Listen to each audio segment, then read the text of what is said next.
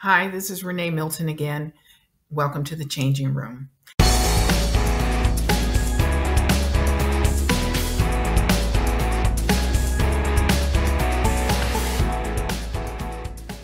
So, today, uh, this is another part in the series Characteristics of Cultic Groups. So, today we're going to talk about on this long list that Michael Langone has of characteristic of cultic groups, um, points six and seven. So, point six is this the group has a polarized us versus them mentality, which can cause conflict with the wider society. So many times in these groups, you are so isolated uh, from the rest of society that your beliefs start to conflict with your job, they conflict with relatives, family members.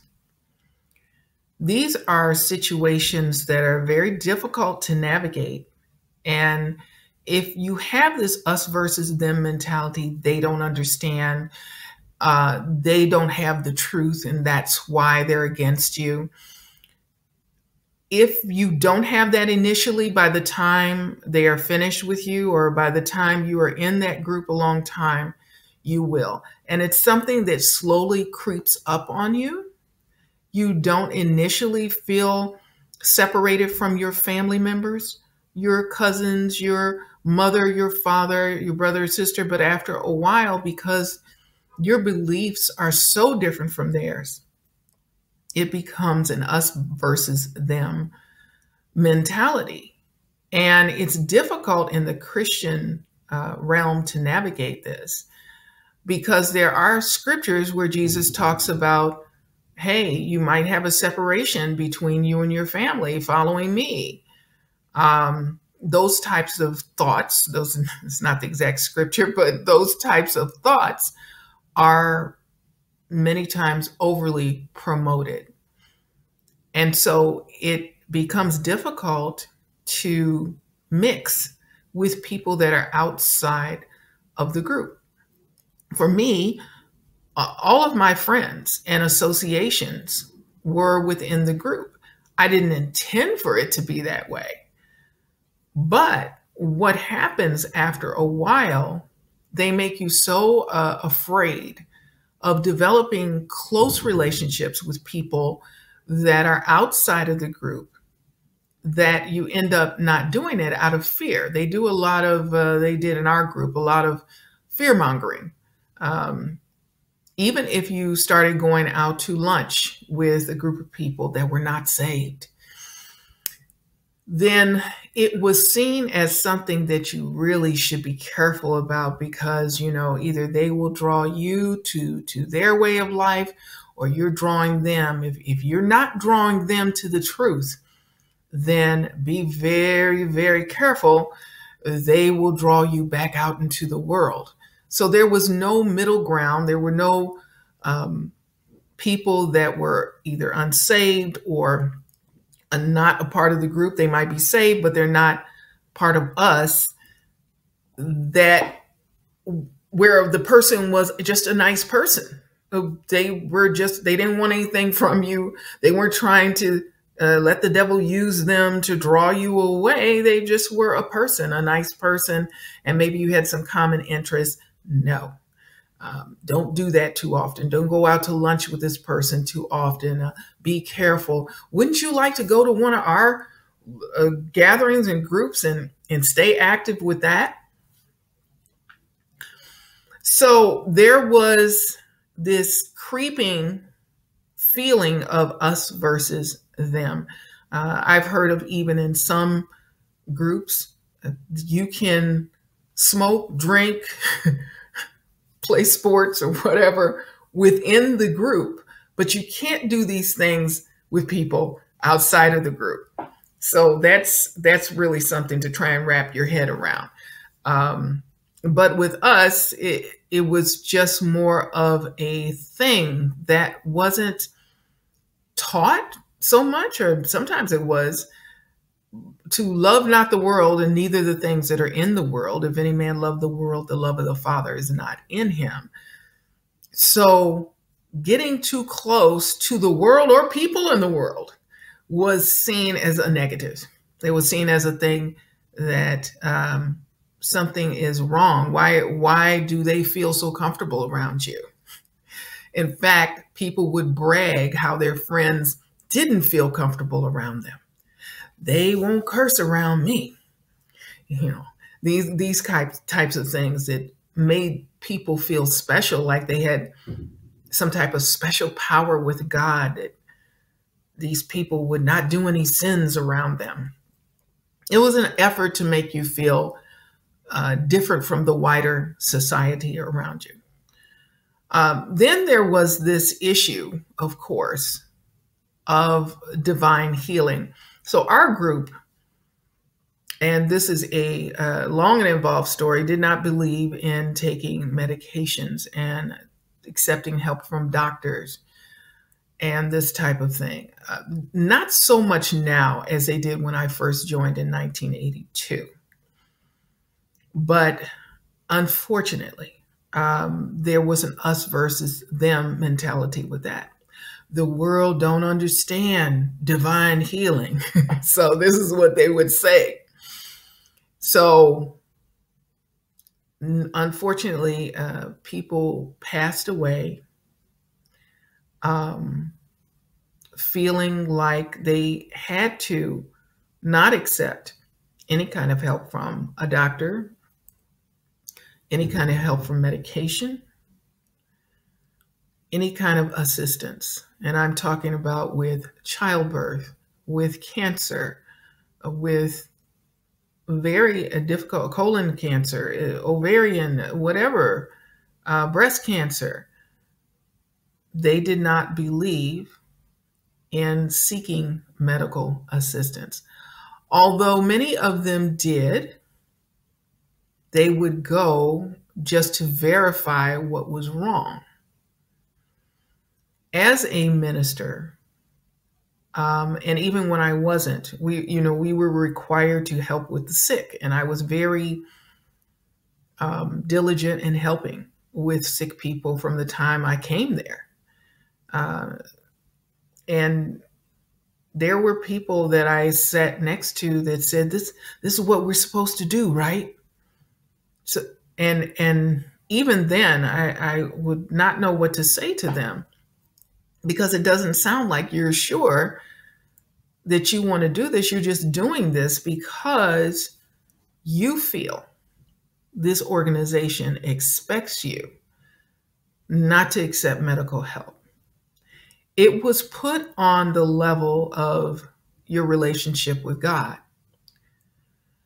So it was put on the level of if you come to something serious like a, a cancer or lupus, uh, some serious illness, and you cannot trust God for that, then somewhere in your religious experience, something is wrong because God would not lead you up to this point and you don't have faith.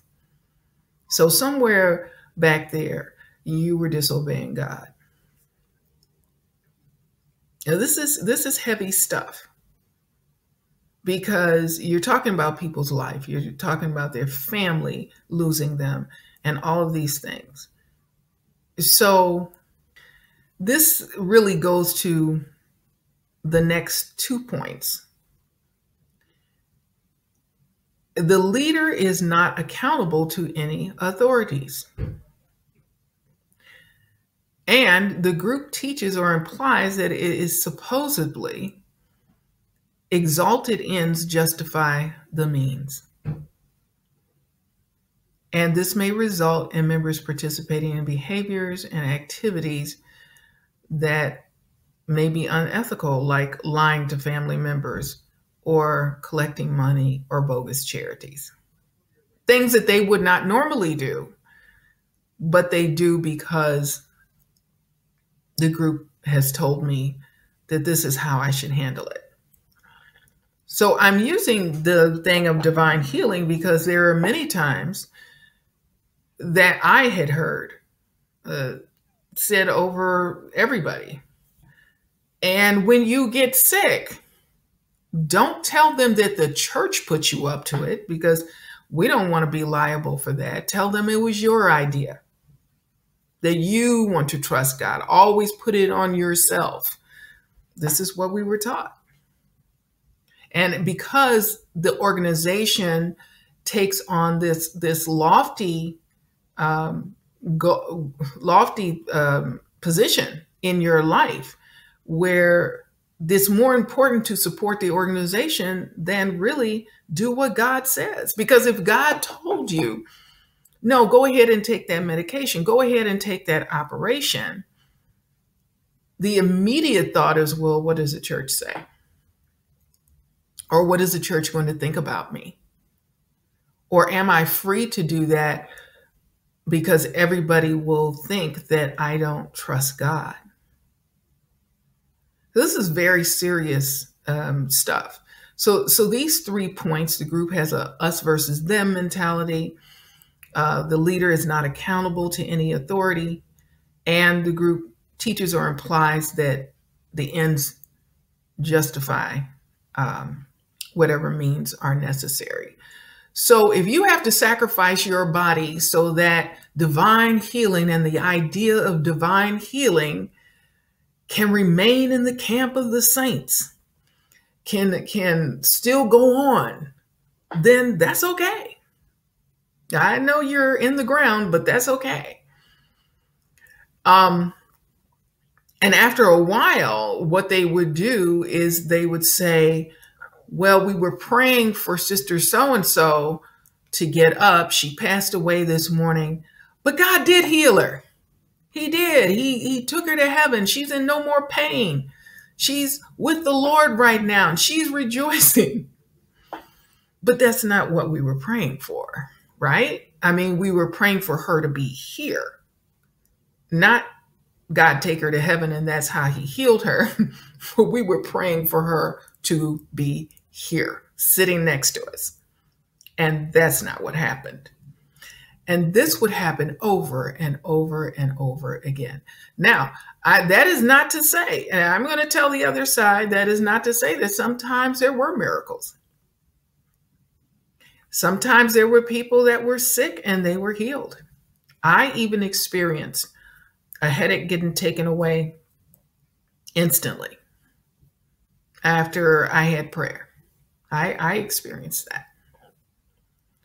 But many of the cases did not come out the way we prayed. What was so irresponsible about, about that, and, and this is what I'm talking about, they were accountable to nobody, the leaders. what was so irresponsible about that is that many of these leaders knew that there were pastors that had had operations. But they left the congregation feeling like everybody that's a good saint doesn't take any medication, doesn't accept any medical help. Many times you had people that were so sick and in so much pain, they would ask for medication before they died. So if you could have taken the medication and, and you're still in heaven and you're still okay two weeks before your death, why couldn't you have taken it six months ago and still been okay? Still been accepted as a good saint? Um, it made no sense. And the, as a leader, it was it became just unbearable uh, to see this level of irresponsibility in terms of teaching. Because if you talk to many of their leaders, they would say, "Oh, there's nothing wrong with going to the hospital. There's no no problem."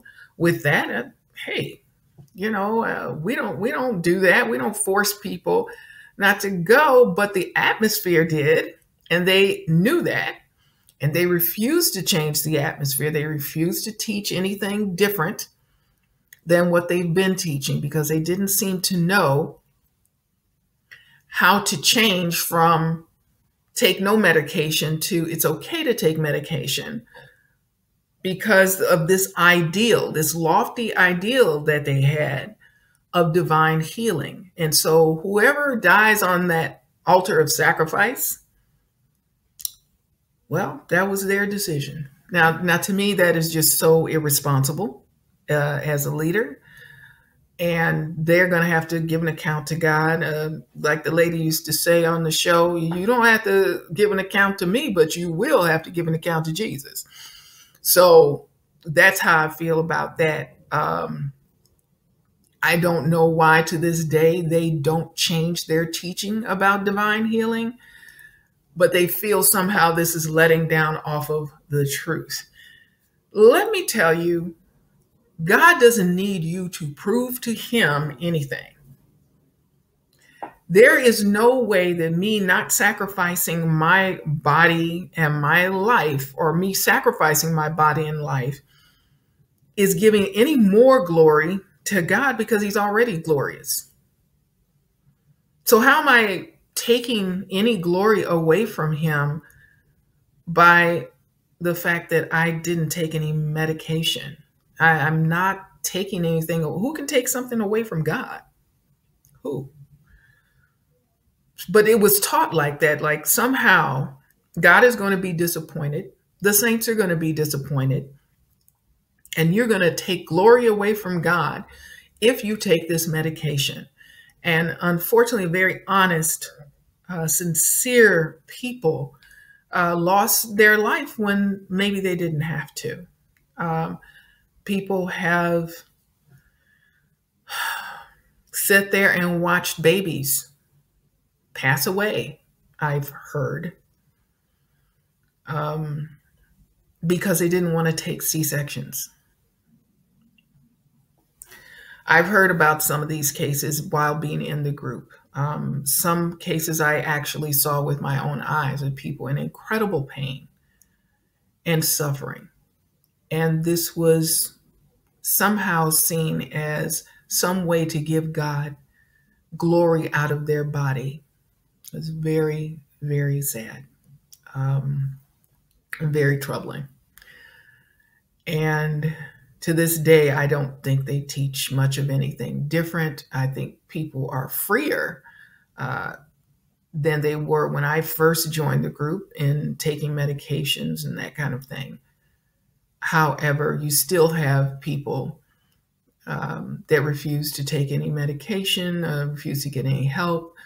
And many times they they were like, "Oops, I'm actually going to die." if I don't get this taken care of, they go back to the doctor and the doctor says it's too late. I can't do it medically anything right now. Um, so that is a heady mentality of coercion. It's a is really an example of collective coercion, where the fear of the group causes you to do something that could mean your life. So um, it's a really heavy subject today, but the three points are that the group has a polarized us versus them mentality. Uh, the leader is not accountable to any authorities, and the group teaches or implies that the ends justify the means. So, again, uh, we will go through this characteristics of cultic groups um, have a great week, and I'll see you next time.